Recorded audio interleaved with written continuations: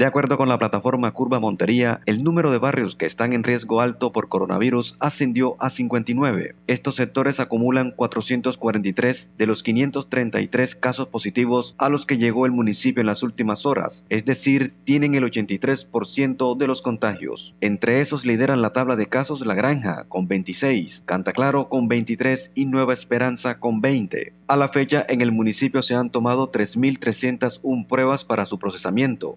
De esas, 2.152 negativas y hay 615 en espera de resultados. En la ciudad, 1.004 personas están en aislamiento, entre casos positivos y con sospecha del virus. Entre tanto, se reportan 33 fallecimientos y 125 recuperados. La alcaldía hará cierre de fronteras urbanas en los sectores de los barrios de Montería con más casos de COVID-19. Los cierres serán sectorizados, priorizando aquellas zonas donde ya están identificados los focos de contagios.